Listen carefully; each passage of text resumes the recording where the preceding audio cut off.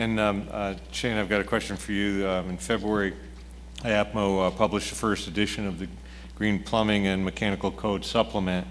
And um, could you tell us uh, how that document fits in with other existing water efficiency programs and and why, why you feel it's needed?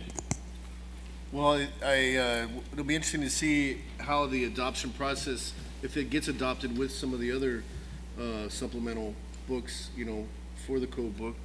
But um, I, I think it is an important uh, resource and tool for installers and builders and uh, jurisdictions to, uh, to use, to do whatever we can to uh, save energy and, uh, and create an environment that's, uh, that will save, save water and save electricity and save, to use uh, practices that, uh, that, that will provide that efficiency that we, that we, we need, you know, that will make it easier for, for all of us, you know, it's not, uh, it's not just the, uh, you know, the, the, the home builder here, he, he, he can't come up with a magic bullet, you know?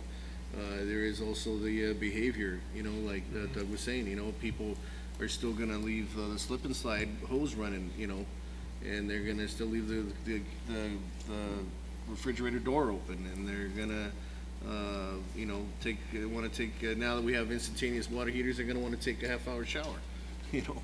So, even though we have regulations to try to minimize that and install them properly, uh, there is behavioral issues too, but I think that the, the supplement, uh, will be very, uh, helpful in, uh, in, in, uh, What- us that way. What, what are the trades, uh, um, the affected trades? How, how do you feel that they're, they are in terms of accepting change? Well, I think the biggest issue would be, uh, uh, for a lot of the, for the trades is cost, cost and, uh, time.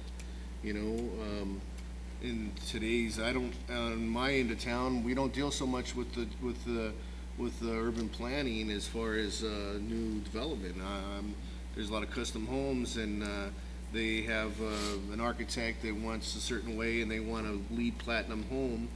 You know, there's one person in the house and it's a five thousand square foot house, but they have a lawn and they have a, a lemon tree because they got so many points for the lemon tree, but nobody's gonna eat lemons in the house, you know?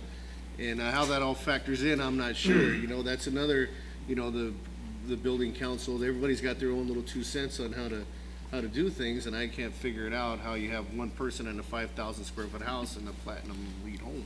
Right. You know? Yeah, a lot of people are chasing points instead of uh, thinking, Yeah. thinking things through. You know, the only person who eats lemons is the gardener, you know, who's putting the sprinklers on for half an hour every day or what have you, and defeating the whole purpose of, of everything we're talking about, you know? It- uh, Relative to the green code, what I'm excited about, that supplement is that it comes from a, one of the code bodies.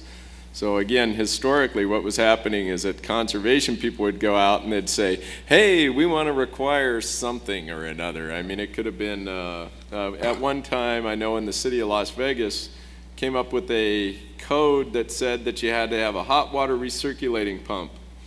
And uh, it was done not very effectively. This was prior to me getting there, but this is the story I've been told.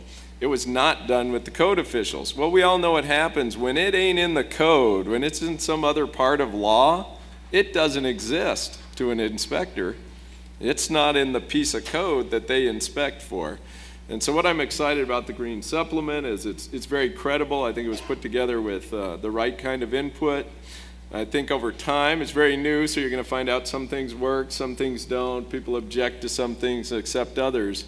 Um, but what I like about it is that uh, it's going to be much easier to have it be accepted by code, code professionals than some of the efforts in the past where you'd create some kind of law and it'd be in a different part of the city's municipal code and the code inspectors didn't look for it at all and everybody would get frustrated. Why is nobody inspecting for this?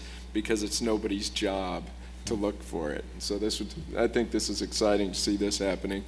Um, it'd be interesting to watch the communities that pick it up, where they go, what kinds of problems we run into. But I know it's been the case with everything. Is that uh, you know you you move on, you learn from your experiences, and you try to move again. So.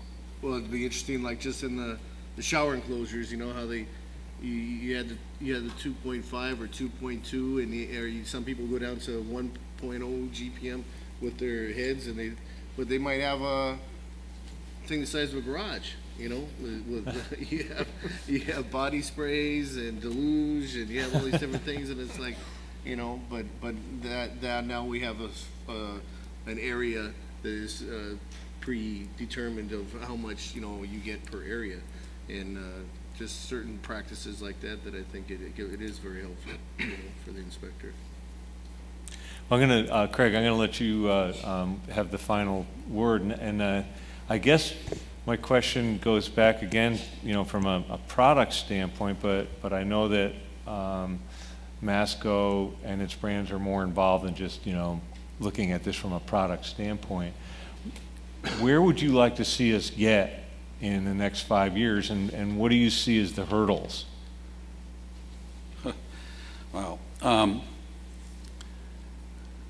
Well, it's like I said before, though, I I think the, the hurdle is uh, making sure that we're providing products that work for the people that are using them. Um, And gathering information from them, trying some things, seeing what kind of feedback we get, um, you know, may lead us to some, some new innovations, uh, some new insights. I mean, we're doing some home water use studies now, trying to gain some of those types of insights. Um, And, you know, hopefully that'll result in some changes to products that result in more conservation and happier users. Um, I still think that's a big challenge. I don't know if you can do that, but hopefully we can gain some insights and, uh, and use our creativity and, and uh, come up with some solutions there.